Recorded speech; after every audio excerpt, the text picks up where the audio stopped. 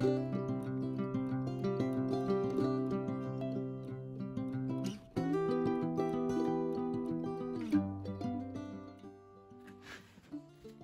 guys, welcome to the Crafty Witch UK. My name is Arietta and today I have got a finish for you and a bit of an update on a few other projects that I have worked on at the tail end of the year that I haven't really had chance to talk about.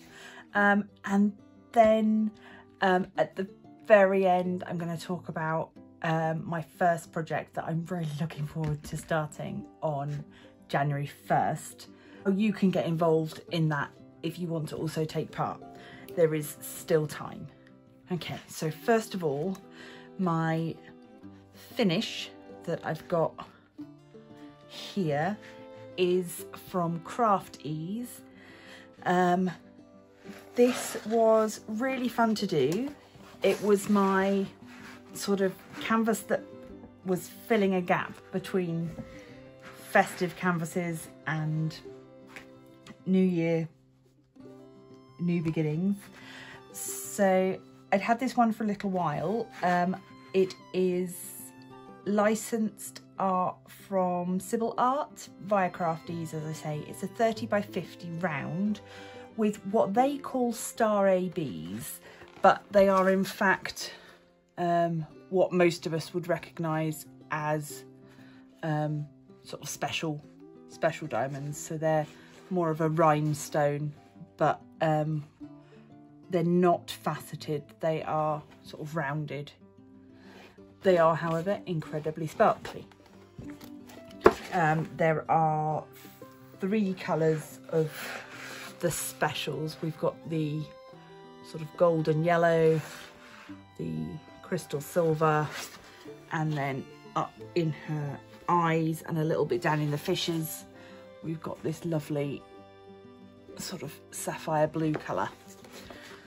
So, what are my thoughts?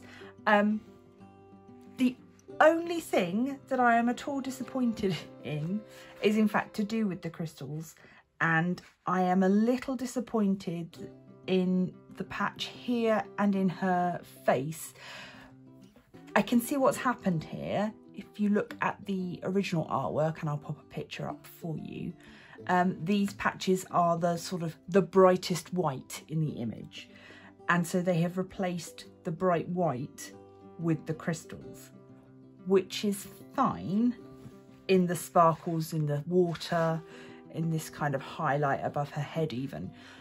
However, because crystals don't appear white on the canvas, at certain angles she just appears to have sort of a big grey blob. So if I can, I'll try and tilt it so that you can just get the light hitting it and then it will do, oh see I can't even do that now. Um, yeah, trying to get it to just show up as it's designed to is quite difficult. That's probably as good as we're going to get. Um, but yeah, as soon as the light is hitting it from a slightly different angle, it just shows up as a grey sort of silvery patch, which looks a little odd. I may remove just this patch and this patch and replace, I had plenty left over of the colours. Um, so I could easily replace these with either a white or a skin sort of, um, her skin tone, sort of palest pink. Um, so, but other than that, it was really fun to do. It's a lovely size. This um, 30 by 50, it's great. I mean, you can see, completely fits on my desk. Um, it's, it's just, yeah, nice arm's length working. Um, it was round, so it was super quick. Um, yeah, and I really, I really did enjoy it. As I say, I'm just a little disappointed. And I know that this is because it's not hand charted. It's computer charted and the computer goes, oh, that's light. Therefore we will put a sparkle in there. It's fine. It happens. I can correct it. Just something to be aware of moving forward. Um, have another Craft-Ease canvas in my stash, which I hope to get around to doing soon. But um, as you will see from um, my plans for the next 12 months, there's a lot to fit in. it's going to be a busy year for diamond painting. Um, should you wish to go check out Craft-Ease, um, they have given me a 20% off discount code. It'll be here. Uh, it is the Crafty 20. Uh, that's two zero. Um, and you will find the links for that down below as well. So you can get yourself 20% off using that code. Um, so other things to talk about. I have, um, I'm going to insert some footage here of um, some specials that I did.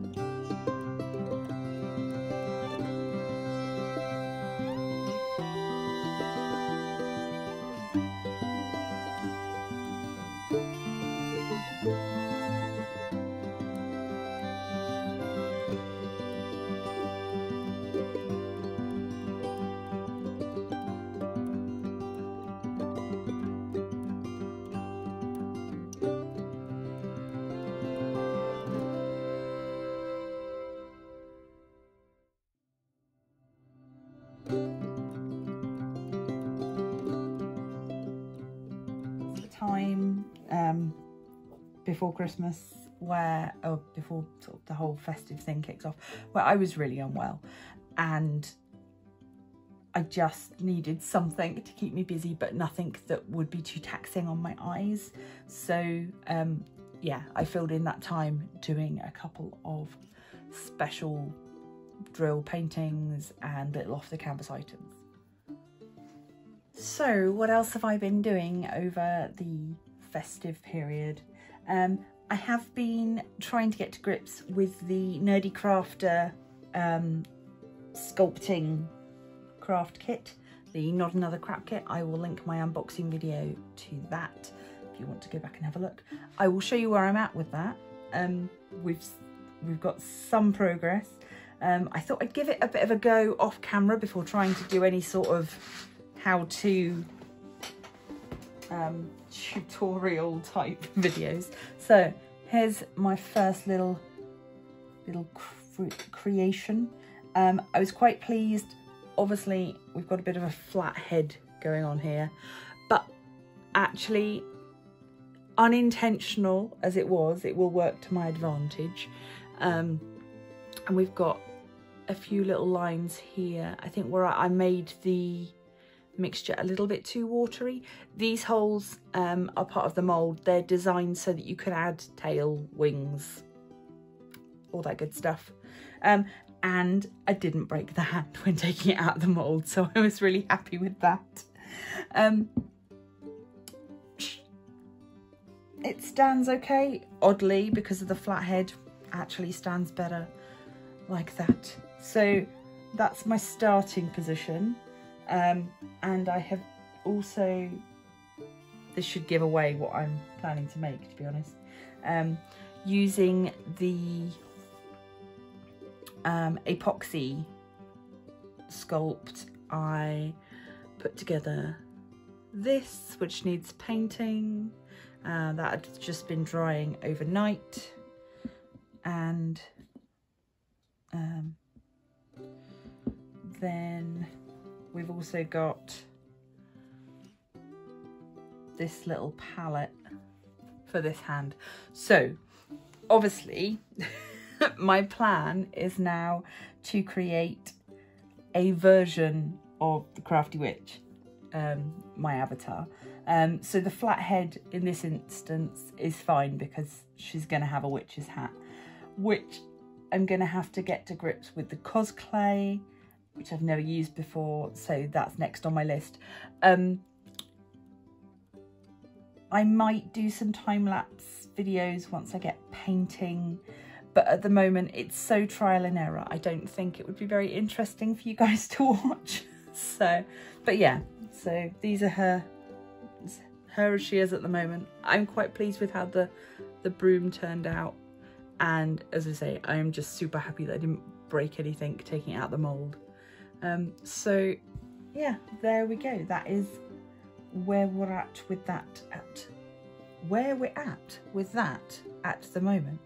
That's a lot of hard T's in one sentence. Um, looking forward to January.